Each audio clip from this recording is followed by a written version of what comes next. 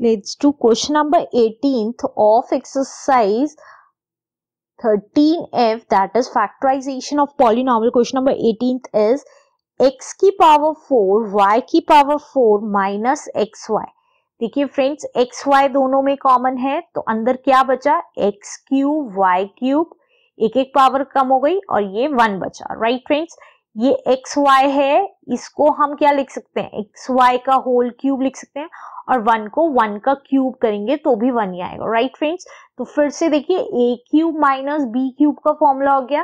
That is A minus B A square plus A B plus B square right friends तो क्या आया?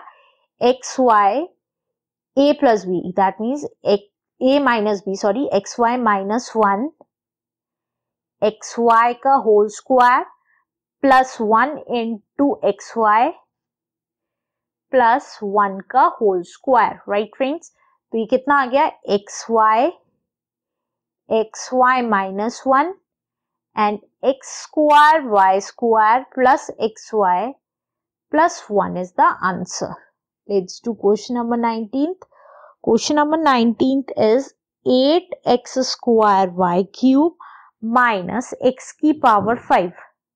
Friends, देखेंगे, X square दोनों में कॉमन है तो अंदर क्या बचा? Eight Y cube minus X cube common बचा।